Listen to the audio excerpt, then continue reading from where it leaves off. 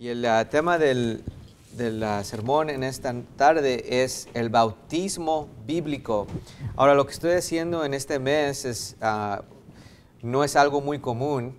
Por lo regular, eh, si tengo un tema en inglés, es, hago un tema, algo, eh, predico un sermón en inglés que sea para la congregación, para el tiempo, algo que, que, sea significante para ese momento. Y a veces en español puede ser otra cosa, porque son diferentes uh, ideas que Dios me pone, pero ahorita en inglés y en español los próximos cinco sermones los estoy predicando iguales o similares, con unos cambios uh, chiquitos específicamente para las culturas y para nuestro entendimiento. Y la razón que lo estoy haciendo es porque es, uh, son, o sea, son sermones de base o de la fundación de lo que creemos, porque yo creo que es muy importante que nada más entendamos nosotros qué es lo que debemos de creer y saber bíblicamente, pero también cómo a combatirlo con nuestras familias, con nuestros amigos y con los que uh, con los que nos tienen preguntas de por qué creemos o hacemos las cosas de cierta manera. Y una de las cosas que va a ser un poquito diferente a, a lo que prediqué en inglés es el bautismo bíblico porque desafortunadamente en los países uh, hispanos, hasta los cristianos, los que dicen que creen en Cristo o van a, unas, a iglesias cristianas o carismáticas o evangélicas, si los familiares los invitan, ellos van a un, a un bautismo de bebé. Uh, yo no sé, o sea, yo antes de, de crecer en, en, la fe y antes de ser, uh, antes de aceptar a Cristo, yo fui a un, de hecho, yo fui a, y me hicieron el compadre, como se dice en, México, de, un, de, uno de mis amigos y fui el, el, padre o lo que, el godfather, el, padrino de, de, una niña. O sea, obviamente no es algo que, ahora yo no soy el padrino de nadie, o sea, eso no es bíblico. Y, eso ya fue dejado uh, en el pasado, pero es algo que es común. O sea, las religiones no importa si dicen que son cristianas o no, si hay un bautizo de bebés específicamente porque la religión católica domina en los países hispanos, es algo que es muy común y no es nada más bíblico, sino también es, puede, uh, puede ser uh, negativo para la familia, puede ser negativo para la persona y aparte de eso uh, es una doctrina del diablo, o sea, es algo satánico porque es algo que está mintiéndole a las personas que piensan que por ese bautizo ellos están sellados a la eternidad. Y eso no es cierto. Vamos ahí a Romanos 6, a versículo 1, y dice, ¿qué pues diremos? Ah, ¿Perseveraremos en el pecado para que la gracia abunde? En ninguna manera. Porque los que somos muertos al pecado, como viviremos aún en él? ¿O no sabéis que todos los que hemos sido bautizados en Cristo hemos sido bautizados en su muerte? Porque somos sepultados con Él en la muerte por el bautismo, para que como Cristo resucitó de los muertos por la gloria del Padre, así también nosotros andemos en novedad de vida. Todo lo que nos está diciendo la Biblia es de que el bautismo es un símbolo o una figura de la muerte la resurrección, o sea, la muerte, el entierro y la resurrección de Cristo, ¿verdad? Dice ahí que nosotros somos enterrados. Dice, ¿o no sabéis que todos los que hemos sido bautizados o enterrados en Cristo, hemos sido bautizados en su muerte? Porque somos sepultados con Él en la muerte por el bautismo, para que como Cristo resucitó de los muertos por la gloria del Padre, así también nosotros andemos en novedad de vida. Y ese es el punto también muy importante, de que ese es un símbolo para nosotros de novedad de vida. O sea, el bautismo no es necesario para la salvación. A ver, mucha gente, eh, cuando nosotros lleguemos a la gloria, vamos a la eternidad en el cielo, que nunca fueron bautizados. Pero hay muchas religiones y hay muchas, uh, mucha información equivocada que mucha gente piensa que necesitan ser bautizados para estar no nada más uh, en la salvación, pero bien con Dios. Y lo que es el bautismo es además la primera, es el primer, la primera acción de obediencia a Cristo. Es una manifestación de lo que nosotros queremos hacer, es caminar nosotros con Cristo. No es necesario, pero es algo que nosotros podemos hacer para poder estar en función con Cristo. Porque dice, para que como Cristo resucitó a los muertos por la gloria del Padre, así también nosotros andemos en novedad de vida. O sea, no, es necesario, ah, porque ese es un trabajo, ¿verdad? Andar, hacer, caminar, hacer un, andar con Cristo, andar con alguien es, es trabajo. La Biblia nos dice que la fe es gratis, ¿verdad? Que la vida que Dios nos da, es, ah, que ahí en Romanos 6:23 para, para usar ese versículo dice, porque la paga del pecado es muerte, mas el don o regalo de Dios es vida eterna en Cristo Jesús, Señor nuestro. Entonces la Biblia nos está diciendo que el regalo es la vida eterna en, Jesús, en Jesucristo, Señor nuestro, ¿verdad?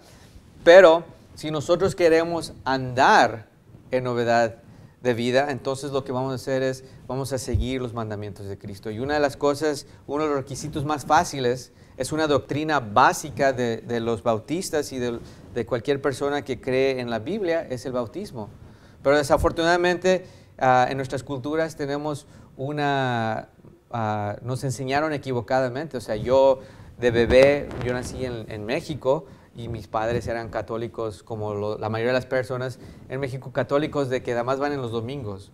Pero fui bautizado o me nada más me mojaron, ¿verdad? Y luego después fuimos a una religión falsa y por muchos años fuimos adventistas del séptimo día y a los 15 años nos hicieron ir en un curso de seis semanas o seis meses, no me acuerdo, el número seis es lo que importa, era un curso largo y luego después del curso calificamos y nos bautizaron.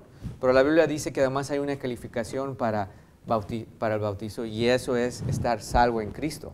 Entonces, ¿qué es el bautizo? Vamos a, antes de, enfocarme en esto, más quiero eh, hacer ah, énfasis en unos ah, versículos de Romanos 6. Vamos a Romanos 6, 6, dice, sabiendo esto, que nuestro viejo hombre fue crucificado con él para que el cuerpo del pecado fuera destruido. El cuerpo fuera destruido. O sea, por eso nosotros tenemos que morir en nuestra corrupción, ¿verdad? Para que el espíritu pueda tener una, un cuerpo incorrupto, a fin de que no sirvamos más al pecado.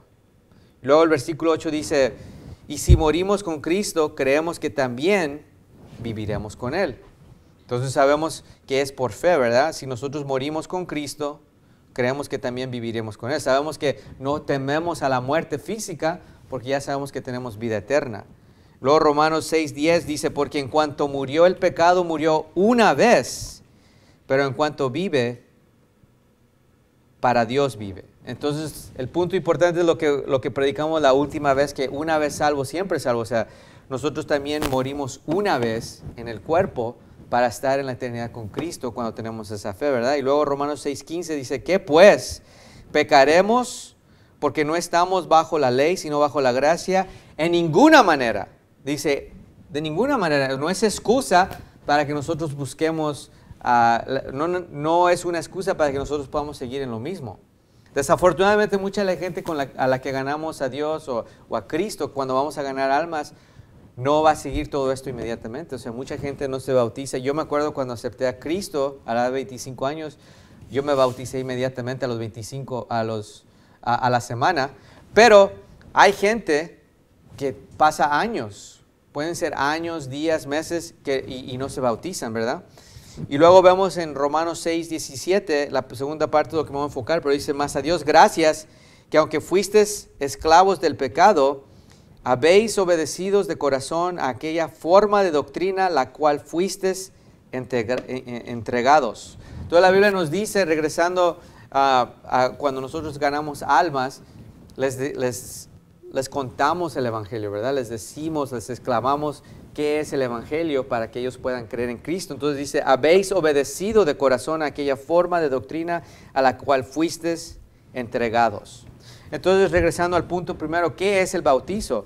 Bueno, la palabra viene del griego, no, yo no estudio griego, es algo que, pienso empezar en el futuro, pero ahorita no es un estudio que tengo ah, en rutina o en disciplina, pero básicamente la razón que, que podemos hacer este, este ejemplo es porque nosotros entendemos, es una palabra similar, la palabra en griego es baptizo y para nosotros es bautizo, y entonces en español sabemos que es sumergir, anegar, empapar o, también puede ser hundido o ahogado en, algo, ¿verdad? En agua, nosotros, en, este ejemplo específico es en agua. Entonces, lo primero que tenemos que entender es que el bautizo, el hecho del bautizo, es sumergir, no es cuando, porque los católicos además te, te avientan tintita agua, ¿verdad? Es chispis, como decimos, ¿verdad? Además están haciendo chispis. O sea, no, no son gotitas de agua, sino es sumergido. Y la Biblia nos da ese ejemplo. Si voltean a Mateo, en el primer libro del Evangelio, Mateo, Marcos, Lucas, Juan, Mateo, versículo 3, vemos que Cristo va a empezar su ministerio. Y ah, el versículo 13 dice, entonces Jesús vino de Galilea a Juan al Jordán para ser bautizado por él, pero Juan le resistía diciendo, yo necesito ser bautizado por ti y tú vienes a mí. Pero Jesús respondió y le dijo, deja ahora, porque no es precioso cumplir así toda justicia. Porque no se es precioso cumplir así toda justicia. Entonces le dejó. Y Jesús, después que fue bautizado, subió luego del agua. Y aquí los cielos le fueron abiertos y, vio al Espíritu de Dios que descendía como paloma y venía sobre él. Y aquí una voz del cielo que decía, este es mi Hijo amado en quien tengo contentamiento. Pero lo único que quiero enfocarme es que si, el bautizo, y lo vamos a, repasar al final, pero si el bautizo sea, fuera necesario para la salvación, entonces ¿por qué Cristo nos dejó el ejemplo del bautizo en bautizarse él mismo? O sea, el bautizo es un, es, una, es un símbolo de lo que él iba a pasar, ¿verdad? La muerte, el sepulcro y la resurrección de Cristo. Dice, y luego versículo 16 dice, y Jesús después que fue bautizado, subió luego del agua. En otras palabras, no, no pueden haber sido gotitas, porque para que Cristo fuera bautizado tuvo que estar adentro del agua para poder subir luego del agua, ¿verdad? Y es una representación de que cuando nosotros estamos en el agua, estamos enterrados, cuando salimos o subimos del agua, eh, ah, estamos enterrados, luego ah, enterrados en la muerte, eh, en, la figura de la muerte y luego ah, resucitados como Cristo resucitó, ¿verdad? Entonces, ¿cuáles son varias religiones que, que promueven el bautismo? De bebés o el bautismo equivocado o el bautismo para la salvación. La iglesia ortodoxa, la iglesia católica oriental, la iglesia católica, los metodistas, la iglesia presbiteriana, la iglesia luterana. Son varias de las religiones que, que les gusta, ah, que bautizan de esa manera. O sea, con, con gotitas y chispas, los luteranos son ah, individuos o son iglesias que tienen falsos profetas, que tienen falsas ah, doctrinas. Y esa es una doctrina muy falsa, especialmente porque, por ejemplo, los católicos que dominan el mundo hispano en, la religión católica, eso es para sellarlos, para que si el bebé llega a morir tenga su salvación. Pero la Biblia es bien clara de que la salvación ah, es cuando uno entiende el bien y el mal. Entonces, si uno muere antes de entender ese concepto, y este no es la predicación, o sea, no es el, punto del mensaje, pero es un buen punto de que los bebés, ah, la Biblia nos da el ejemplo de David, cuando él perdió a su hijo, dijo, yo voy a Él, porque Él ya no puede venir a mí. O sea, los, los bebés, si llegan a morir, van al cielo. Entonces no es necesario bautizarlos. Y la razón que no es bueno promover algo así, aunque no afecta a lo mejor al bebé, es porque afecta la mentalidad del adulto que está pensando que a lo mejor si él eh, va a entrar o, va a ser miembro de una religión falsa, necesita hacer esas, esas cosas para ser salvo. Porque, por ejemplo, los, ah, y hablando de los católicos, ellos eh, parte de la doctrina no más es el bautismo, sino el catequismo y de que la iglesia es parte de la salvación. Y nosotros sabemos que Cristo es la salvación. En Juan 3, Mateo, Marcos, Lucas, Juan, Juan 3, 22, y si quieren vayan a Hechos, Mateo, Marcos, Lucas, Juan, Hechos, vayan a Hechos 8, yo les voy a leer eh, eh, en Juan. Juan 3, 22 dice, después de estas cosas vino Jesús con, sus discípulos a la tierra de Judea y estuvo ahí con ellos y bautizaba. Y también Juan bautizaba en Enón junto a Salim porque allí había mucha agua y venía y eran bautizados. Entonces el punto de, ese versículo es que ¿cómo bautizaba Juan? Ah, él bautizaba ahí porque había mucha agua. Ah, no sé si se acuerdan, el año pasado bauticé a un individuo alto, que medía 6 pies, 8 pulgadas y este, es ma- mucho más alto que yo. Y cuando lo bauticé tuvimos que llenar el, ah, el bau- el bautismal hasta arriba y luego cuando lo bauticé el agua se sobrepasó. ¿Por qué? Porque necesitábamos mucha agua para poder empaparlo, para poder sumergirlo adentro del agua, ¿verdad? No no le eché tantitas gotitas porque eso no es bíblico. ¿verdad? Ahora, ¿por qué debe uno bautizarse? Y estamos en Colosenses y luego ah, ustedes están buscando Hechos, Hechos versi- eh, capítulo 8. Hay que bautizarnos porque el bautizo representa la muerte, el entierro y la resurrección de Jesucristo. O sea, eso es lo más importante porque cuando estamos dando el Evangelio tenemos que entender todo el Evangelio, ¿verdad? Mucha gente piensa que Cristo existió, pero no creen que Él resucitó.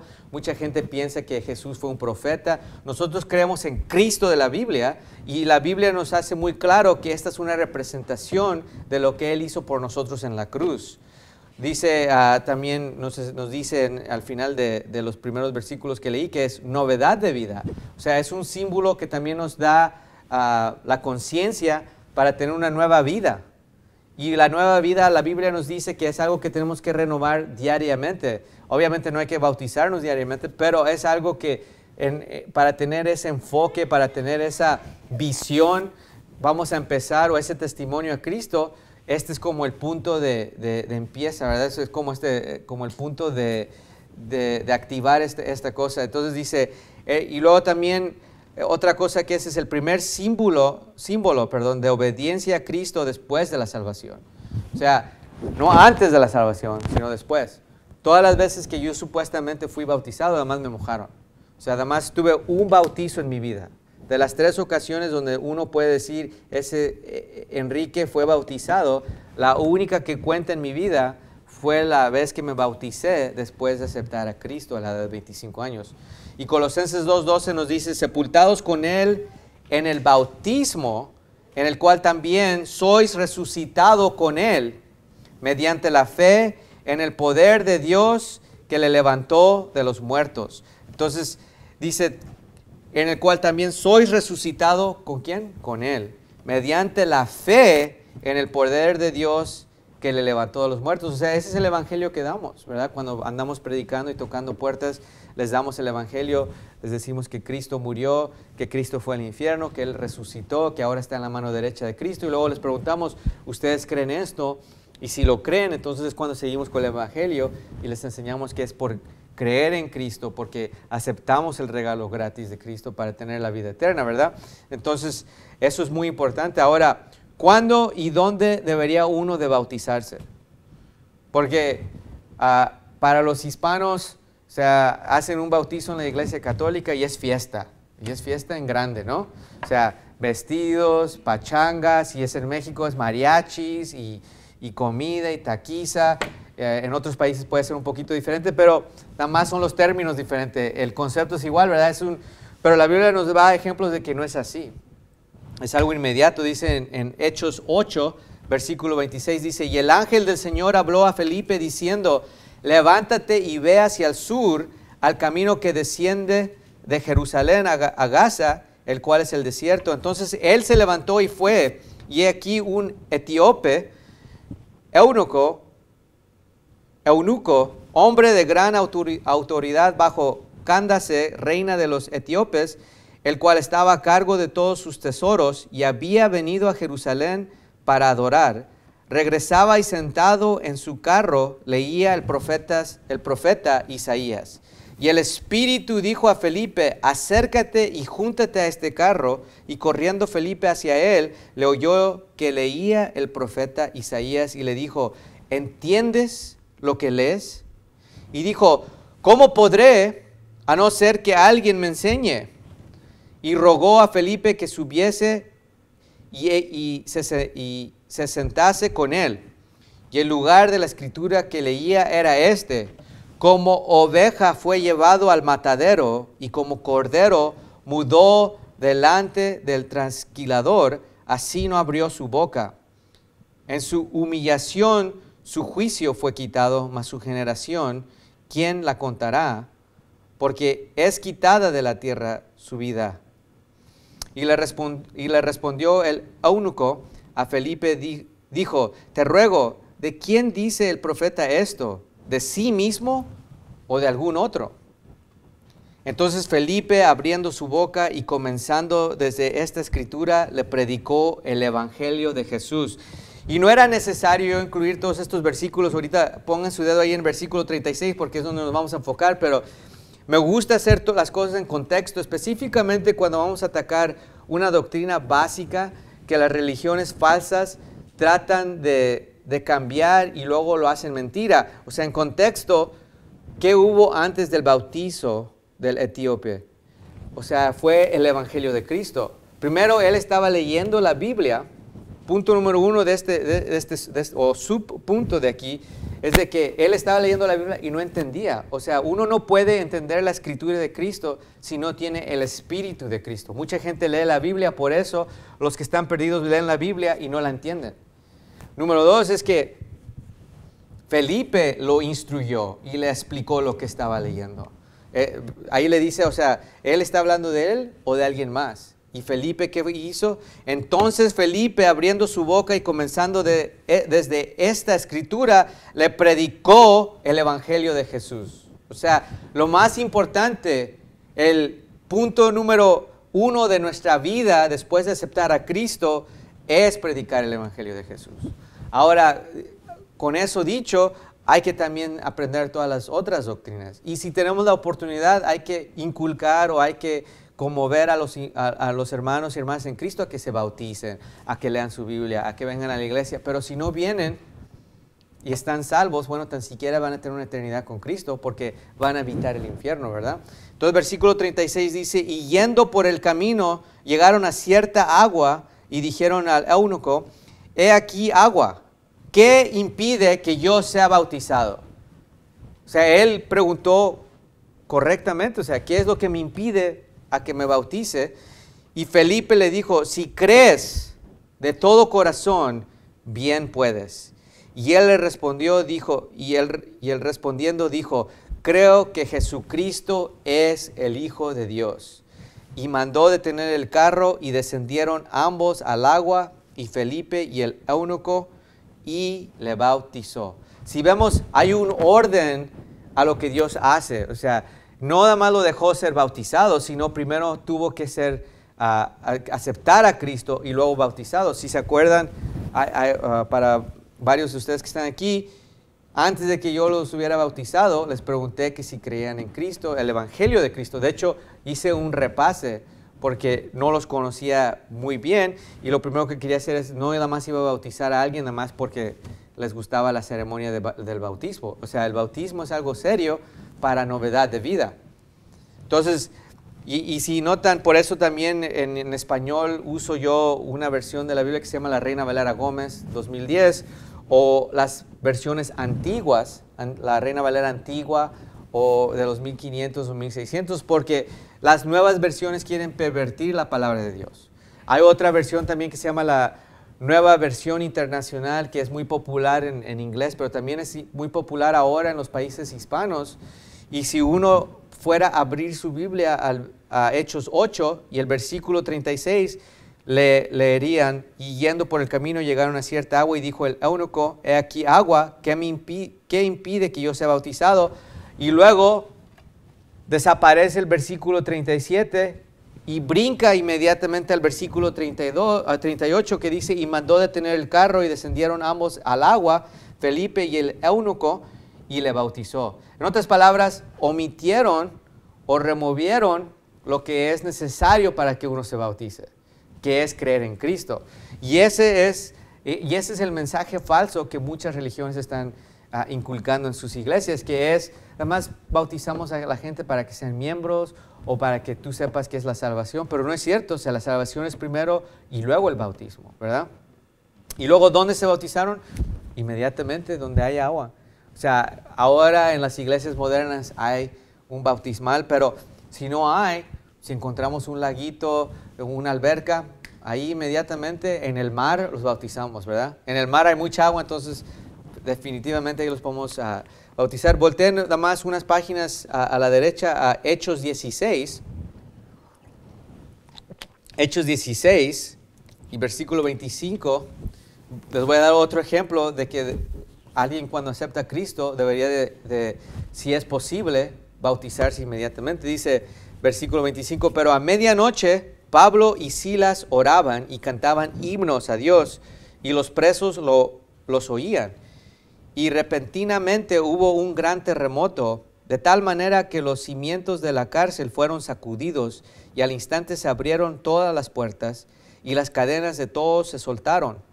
Y despertando, el carcelero, como vio abiertas las puertas de la cárcel, sacó su espada y se quería matar, pensando que los presos se habían escapado. Mas Pablo clamó a gran voz, diciendo, no te hagas ningún daño, pues todos estamos aquí. Él entonces, pidiendo luz, entró corriendo y temblando, se derribó a los pies de Pablo y de Silas. Y sacándoles les dijo, señores, ¿qué debo hacer para ser salvo? Y ellos le dijeron, y ellos dijeron, creer en el Señor Jesucristo y serás salvo tú y tu casa. Y le hablaron la palabra del Señor y a todos los que estaban en su casa. Y él, tomándolos en aquella misma hora de la noche, les lavó las heridas y enseguida fue bautizado él y todos los suyos. ¿Cuándo fue él bautizado? Enseguida. ¿A qué horas fue que lo bautizaron? Un poquito después de la medianoche. O sea, no es fiesta, no es ceremonia, no es para la gloria de los hombres, es para la gloria de Dios. O sea, es un acto que hacemos en obediencia y de, hecho es un acto eh, en donde nos humillamos delante de Dios para que Él nos pueda llenar de su espíritu y, y caminar en novedad de vida, o sea, en una vida nueva donde podamos hacer cosas grandes y poderosas y excelentes para Cristo. Pero no es para, para que todos disfruten de una taquiza y de una fiestota y de, de todo lo que viene con una, sino es para la gloria de Cristo. Entonces es inmediato, ¿no? Si está tu familia, excelente, y si no, excelente también. O sea, el bautismo es algo entre tú y Dios. Y es lo que uno hace con, ah, con cierta voluntad para poder tener una nueva vida, o sea, un nuevo camino en Él. Y, y, hasta cuando nosotros nos bautizamos, eso no nos limpia de los pecados, o sea, vamos a seguir pecando. La Biblia dice, aún pecadores, ¿verdad? Vamos a, a, a Marcos y a quién debe ser bautizado y quién debe de bautizar. Entonces, la, primer, la primera ya la contestamos, pero es un repase. ¿Quién debe de ser bautizado? Los que creen en Cristo. Nadie más. No hay calificación, no hay ninguna otra, o sea, no importa si leen la Biblia diez veces, no importa si diezman bastante, no importa si, si fueron a otra religión, si no creen en Cristo, no deben de ser bautizados. Ahora, la, la otra pregunta no está muy clara, pero es importante porque hay gente que pregunta, ¿quién debe de bautizar?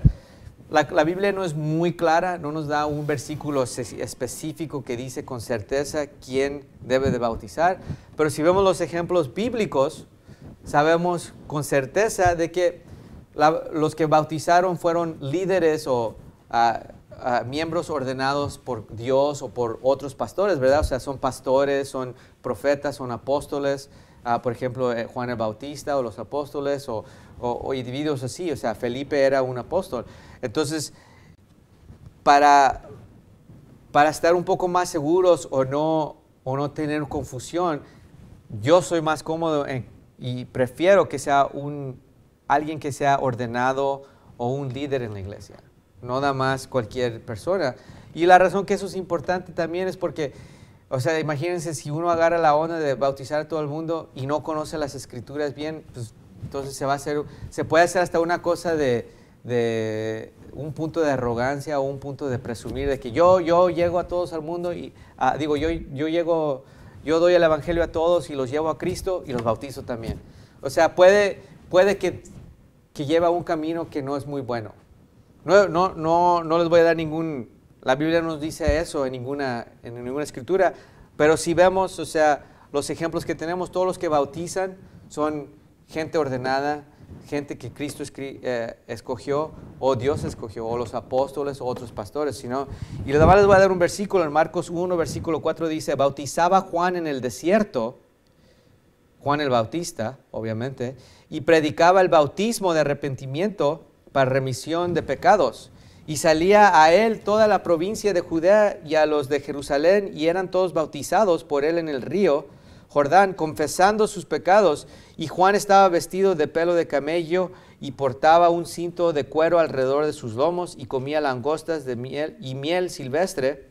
Y predicaba diciendo, viene tras mí uno que es más poderoso que yo, a quien no soy digno de desatar encorvado la correa de sus calzados. Yo a la verdad os he bautizado en agua, pero Él os bautizará con el Espíritu Santo. Entonces vemos de que Juan el Bautista no nada más está bautizando por bautizar, sino está bautizando por la fe, porque creyeron en Cristo. Dice, yo a la verdad os he bautizado en agua, o sea, Él está dando el símbolo, pero dice, pero Él os bautizará con el Espíritu. O sea, Cristo ya nos bautizó con el Espíritu, pero yo les estoy dando el ejemplo del bautismo de agua, ¿verdad? Entonces vemos uh, que ¿quién debe ser bautizado? El que cree en Cristo. ¿Quién debe bautizar? Preferible los líderes, o sea, no es exactamente una doctrina así de muerte y vida, de que los vamos a correr a la iglesia, pero eh, eh, en, al menos nosotros en esta iglesia vamos a, estar en el lado más, uh, más seguro. Y más seguro es de que los líderes de la iglesia, los, los que predican, los pastores, son los que deben de tener la habilidad de bautizar. Ahora, unos puntos importantes y con esto cerramos el, el sermón. Uh, primero, hay que, hay que hacer otra vez el repase de que es, es uno es sumergido, o sea, es empapado. Si no, eso no cuenta como bautismo. O sea, no son gotas, no es medio bautismo, no es entra y sale es completamente bajo el agua, ¿verdad? Y es solo después de la, la, salvación, antes, o sea, nada más se mojó uno. O sea, las veces que alguien me bautizó antes no fueron bautismos, por eso no me gusta usar esa palabra, pero la gente es lo que entiende, ¿verdad? Pero realmente nada más me, me bañaron en agua sucia. Y luego ni usaron jabón, ni, ni me secaron, ni nada más me dejaron estar ahí sufriendo, ¿verdad?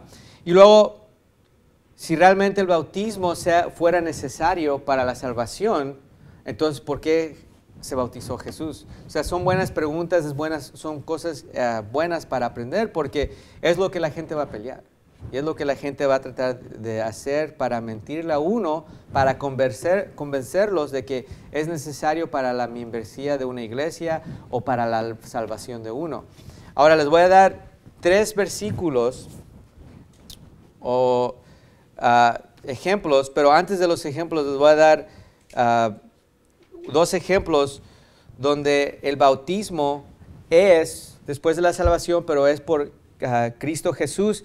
Y aparte de eso, de que si alguien dice, yo me, a mí me bautizaron, pero no entendieron el Evangelio, hay que bautizarlos después de que entiendan el Evangelio. En Hechos 19 versículo 1 en Hechos 19 y luego vamos a estar en 1 Corintios. En Hechos 19 dice, y aconteció que mientras Apolos estaba en Corintio, Pablo habiendo pasado por las regiones superiores vino a Éfeso y hallando a ciertos discípulos les dijo, recibisteis el Espíritu Santo cuando creísteis. Ahora pongan atención a la pregunta, dice, recibisteis el Espíritu Santo cuando creíste. Acuérdense que la, la última vez que prediqué fue, hay que creer en Cristo, ¿verdad? Hay que creer para, para la salvación.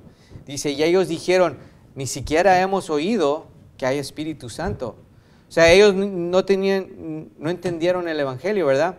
Entonces les dijo, este es Pablo hablando, ¿en, pues, ¿en qué pues fuisteis bautizados? Y ellos dijeron, en el bautismo de Juan. Y Pablo les dijo, Juan bautizó con el bautismo de arrepentimiento, diciendo al que al pueblo que creyese en aquel, noten que está en la mayúscula aquel, que vendría después de él, esto es en Cristo Jesús. Y luego versículo dice, cuando oyeron esto, fueron bautizados en el nombre del Señor Jesús. Y habiéndoles impuesto Pablo, ah, y habiéndoles impuesto Pablo las manos, vino sobre ellos el Espíritu Santo y hablaban en lenguas y profetizaban. Entonces, el punto es de que cuando oyeron esto, fueron bautizados en el nombre del Señor Jesús. En otras palabras, ellos, Juan, Juan el Bautista estaba bautizando correctamente. Desafortunadamente, los que en ese momento bautizó no entendieron completamente el Evangelio. Y Pablo, aclarando este punto, ¿qué hizo primero? Les dio el Evangelio y luego los bautizó. Y luego los bautizó en el nombre del Padre, Hijo y el Espíritu Santo, en el nombre de Jesús, ¿verdad? Dice ahí, en el nombre del Señor Jesús. Y ese es un punto muy importante porque muchas, muchas veces vamos y ganamos almas o hablamos con alguien que viene a la iglesia y les decimos, ah, les damos el Evangelio y aceptan a Cristo les decimos, o sea, la primer, el primer símbolo de obediencia a Cristo es bautizarse. Y dicen, oh, no, a mí ya me bautizaron. Entonces, bueno, llevarlos a Hechos 19 y decirles, si no te bautizaron en el nombre de Cristo, en el nombre del Padre, el Hijo y el Espíritu Santo, no fuiste bautizados porque no entendiste el Evangelio, no eras salvo. Tú eh, eh, estabas perdido y hasta estabas perdido en las doctrinas bíblicas básicas para poder crecer en Cristo. En 1 Corintios 1.10, mientras uh, volteen sus Biblias o, busquen en 1 de Pedro 3, pero en 1 Corintios 1, versículo 10 dice, os ruego pues hermanos por el nombre de nuestro Señor Jesucristo, que todos habléis una misma cosa y que no haya entre vosotros divisiones. O sea, este es un punto de división en muchas religiones. Muchas religiones, de hecho, eh, durante la historia de los bautistas, ha, habido ocasiones en donde los bautistas han sido, han hasta ah, ido a la muerte por el punto de bautismo, porque no creen o no ah, apoyan a las religiones que bautizan a los bebés o que bautizan diferente, ¿verdad? Dice, sino que seáis perfectamente unidos en una misma mente y en un mismo parecer, porque me ha sido dicho de vosotros, hermanos míos, por, por los que son de la casa de Chloe, y que hay entre vosotros contiendas. Digo esto ahora, porque cada uno de vosotros dice, yo soy de Pablo, y yo de Apolos, y yo de Cefas, y yo de Cristo. ¿Está dividido Cristo? ¿Fue crucificado Pablo por vosotros? ¿O fuisteis bautizado en el nombre de Pablo? Doy gracias a Dios que a ninguno de vosotros he bautizado, sino también, sino a Crispo y a Gallo para que ninguno diga que yo he bautizado en mi nombre, y también bauticé a la familia de Estefanas, más que no, más no sé si bauticé a algún otro. Porque no me envió Cristo a bautizar, sino a predicar el Evangelio, no con sabiduría de palabras, pero para que no se haga vana la cruz de Cristo. En otras palabras, lo más importante, lo primordial es el Evangelio de Cristo. Y Pablo en este ejemplo está diciendo, ¿sabes que ustedes están dividiendo, están ah, contendiendo, están peleándose sobre si, si, sirven a Apolos o sirven a Cefas o a Cristo o a Pablo? ¿Y qué dice Pablo? Dice, qué bueno que no los bauticé, para que no tengan excusa de decir de que los bauticé y ustedes fueron bautizados en mi espíritu, sino para que ustedes crean el Evangelio de Cristo. Cristo es el que reina, Cristo es el rey y lo más importante dice, porque no me envió Cristo a bautizar, sino a predicar el Evangelio, no con sabiduría de palabras, para que no se haga vana la cruz de Cristo. En otras palabras, cuando nosotros tenemos contienda o confusión sobre las doctrinas básicas, causamos división. O sea, si, si no lo vamos a aprender, entonces mejor no diga nada. Pero yo prefiero que lo aprendan para que puedan predicar correctamente no nada más el Evangelio, sino las doctrinas. Ahora lo que vamos a ver son tres versículos y con esto cerramos. Versículos que usan los falsos profetas o las iglesias para justificar el bautismo a la salvación. En otras palabras, la gente va a decir, estos versículos nos apoyan, nos, nos justifican de que uno es necesario que se bautice para ser salvo. Y no es cierto, ¿verdad? En 1 de Pedro 3:18 dice, porque también Cristo padeció una sola vez por los pecados, el justo por los injustos, para llevarnos a Dios, siendo a la verdad muerte en la carne, pero vivificado en el Espíritu, en el cual también fue y predicó a los espíritus encarcelados, los cuales en tiempos pasados fueron desobedientes cuando una vez esperaba la paciencia de Dios en los días de Noé, mientras se aparejaba el arca, en la cual pocas, es decir, ocho almas fueron salvadas por agua. Y ahora enfóquese en este versículo, versículo 21, dice, a la figura, este es el versículo que van a usar los falsos profetas, ¿verdad? Dice, a la figura de lo cual el bautismo que ahora corresponde nos salva, no quitando las inmundicias de la carne, sino con como testimonio de una buena conciencia delante de Dios por la resurrección de Cristo, el cual habiendo subido al cielo está a la diestra de Dios, estando sujeto a él ángeles, autoridades y potestades. mucha gente dice ahí porque sí suena, dice a los a la figura de lo cual el bautismo que ahora corresponde nos salva, y luego hay un paréntesis, y luego dice, después del paréntesis dice, por la resurrección de Jesucristo. El paréntesis, si nosotros sabemos gramática básica, o sea, yo ah, mm, sé la gramática mejor en inglés que en español, pero hay ciertas reglas que son universales, ¿verdad? El paréntesis es agregar o aclarar el párrafo, pero no cambia el, no cambia el significado del párrafo. Entonces, por ejemplo, si vemos ahí en versículo 21 y quitamos el paréntesis, dice, a la figura de lo cual el bautismo que ahora corresponde nos salva por la resurrección de Cristo. O sea, ¿por qué somos salvos? Por Cristo, no por el, bautismo, ¿verdad? Y acuérdense que habló del, del bautismo del Espíritu. Pero si leemos ahora con el paréntesis, dice, a la figura de lo cual el bautismo que ahora corresponde nos salva, y luego el paréntesis nos va a aclarar qué está, qué está tratando de decir Dios en, esta, en este párrafo. Dice, no quitando las inmundicias de la carne. Entonces, si el bautismo quitara las inmundicias de la carne o nos salvaría, diría eso, pero está aclarando, dice, el bautismo no te quita las inmundicias de la carne. O sea, sigues aún pecador, sigues aún pecando, ¿verdad? Sigues por, por cuanto todos pecaron y están destituidos de la gloria de Dios. En otras palabras, cuando yo vivo en el Espíritu, no peco, pero desafortunadamente no vivo en el Espíritu 100% del tiempo. Hay momentos en mi vida, muchos momentos, en el cual yo vivo en la carne. Y cuando vivo en la carne es cuando yo peco. ¿verdad? Y no nada más yo, sino todos los que estamos en Cristo. Entonces dice, no quitando las inmundicias de la carne, sino como testimonio de una buena conciencia delante de Dios. Entonces es un testimonio o es un, un símbolo, una figura de una buena conciencia a Dios. Es algo que nosotros hacemos como un símbolo a eso, ¿verdad?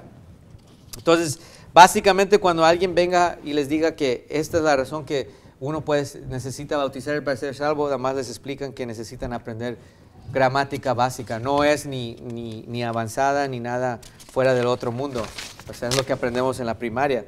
Marcos 16, versículo 15, mientras ustedes pueden ir a, Juan, al Evangelio de Juan, capítulo 3. Marcos 16 dice, y les dijo, id por todo el mundo y predicad el Evangelio a toda criatura.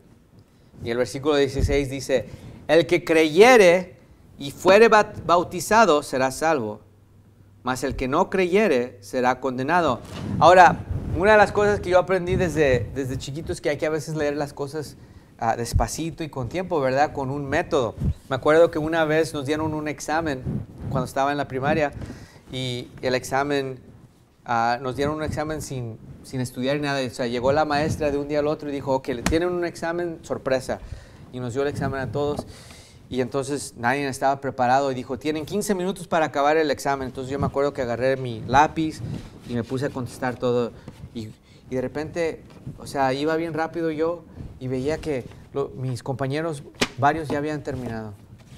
Y, y yo me ponía a pensar, o sea, pues no están tan fáciles las preguntas y qué pasó. Y entonces cuando llegas al final del, examen dice, si hubieras leído la primera pregunta, dice que no contestes nada y que voltees el papel. O sea, como no leímos las instrucciones al principio, empezamos a contestar todo el examen y aquí decía, si tú vas a tomar este examen, lo único que hacer para pasar es ah, voltear el papel y pasaste. Entonces, pues volteabas el papel y ya habías pasado el examen. Y a veces pasa lo mismo cuando leemos la Biblia, o sea, la gente que toma cosas fuera del contexto, no lee todo en orden Ah, y entonces se, adelantan, ¿verdad? Dice el versículo 16, el que creyere y fuere bautizado, coma, será salvo. Entonces, el que creyere y, será, y fuere bautizado será salvo. Pero luego vemos que hay una separación, dice, más el que no creyere será condenado. Si fuera necesario creer y ser bautizado, la próxima parte de ese párrafo hubiera dicho, más el que no creyere y no fue bautizado será condenado. Pero lo único que nos aclara Dios es que el que no creyere será condenado. Y si regresamos a Juan 3, porque vamos a ir ahí, pero antes de eso, ah, yo voy a estar en versículo 1, pero también vemos en Juan 3, 18 que dice, el que en él cree no es condenado, pero el que no cree ya es condenado, porque no ha creído en el nombre del unigénito Hijo de Dios. Entonces, la Biblia no se contradice, de hecho nos aclara y nos apoya lo que estamos leyendo en Marcos 16, ¿verdad? Entonces vamos a Juan 3, versículo 1 y, con, y luego vamos a estar en Hebreos y con eso acabamos. Dos versículos y terminamos y, ah, con un himno. Dice en Juan 3, versículo 1, dice, había un hombre de los fariseos que se llamaba Nicodemo, príncipe de los judíos. Este vino a Jesús de noche y le dijo, Rabí, sabemos que has venido de Dios por maestros, digo por maestro, pues nadie puede hacer los milagros que tú haces si no está, de Dios, si no está Dios con él. Respondió Jesús y le dijo, de cierto, de cierto te digo, el que no naciere otra vez no puede ver el reino de Dios. Nicodemo le dijo, ¿cómo puede un hombre nacer siendo viejo? ¿Puede entrar por segunda vez en el vientre de su madre y nacer? Respondió Jesús, de cierto, de cierto te digo, que el que no naciere de agua y del Espíritu, ahí está otra vez una separación, no puede entrar en el reino de Dios. Y luego, ese es el versículo que los falsos profetas usan, ¿verdad? Dice, el que no nace de agua ni de Espíritu, porque el bautismo es de agua, ¿verdad? Pero Dios en su, en su ah, sabiduría nos aclara con el versículo 6 y dice, lo que es nacido de la carne, carne es y lo que es nacido del Espíritu, Espíritu es. No te maravilles de que te dije o es necesario nacer otra vez. No te, saques de onda. Y, nosotros lo sabemos cuando el agua se rompe al nacimiento, ¿verdad? En inglés es the water broke, el agua se rompió. O sea, quiere decir que ya van a ser el niño, ¿verdad? O la niña. Entonces aquí nos aclara, cuando dice el que no naciere de agua, está hablando del nacimiento físico o biológico de nosotros y del espíritu, ese es el nacimiento del espíritu cuando aceptamos a Cristo. El espíritu ahora es incorrupto, pero seguimos en la carne corrupta, ¿verdad? Dice, no puede entrar en el reino de Dios y luego nos aclara, dice, lo que es nacido de la carne, carne es. O sea, agua, nacimos por el agua, carne, carne es. Y el que es nacido del espíritu, mayúscula y luego vemos minúscula, espíritu es no te maravilles de que te dije o es necesario nacer otra vez. Entonces le está diciendo a, Nicodemas, o sea, hey, sácate de esas ondas de que necesitas regresar al vientre de tu madre. O sea, lo que estoy hablando aquí es del espíritu, no, de la, no físicamente. Porque yo creo, no sé si, como se lee, si Nicodemas realmente estaba maravillado o estaba siendo un poco hostigoso, pero igualmente las dos cosas, o sea, no coinciden porque Dios la aclaró, le dijo, del espíritu, el espíritu y de la carne, la carne.